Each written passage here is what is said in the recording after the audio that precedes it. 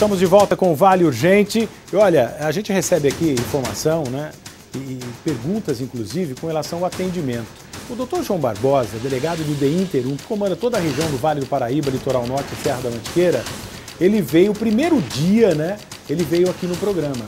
E ele disse o seguinte: Tony, eu vou melhorar o atendimento ao público, que é esta reclamação da população. Deixa eu perguntar aqui pro, pro doutor Roberto Martins de Barro, seccional, se houve melhora desde a vinda do doutor João Barbosa para cá, que trouxe o senhor também com relação ao atendimento.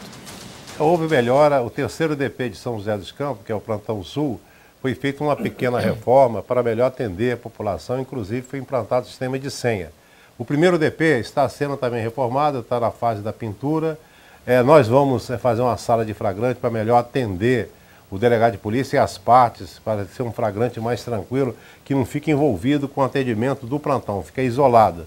Assistentes sociais que lá se encontram no primeiro DP serão transferidas para a Delegacia da Defesa da Mulher, onde nós temos uma maior demanda de atendimento nesse sentido na área social. Então houve realmente uma melhora e no meu entender, e no entender do doutor João, a vítima não pode ser vítima duas vezes, do criminoso e dos policiais. Ela tem que ser bem atendida e roga à população que qualquer atendimento inadequado que entre em contato com a Delegacia Seccional de Polícia para nós termos conhecimento e adotarmos a providência necessária para coibir esse tipo de comportamento funcional. Se essa filosofia for seguida, a população vai ganhar bastante. Dá tempo ainda, produção? Está na hora de a gente encerrar.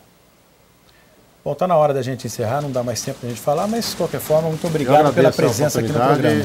Da gente falar a verdade com a transparência, quando está dando certo, positivo, quando está dando errado, viremos aqui. Parabéns pelo seu jornalismo. Estaremos sempre aqui prontos, em pé e a ordem. Um grande muito abraço obrigado, senhor. Igualmente.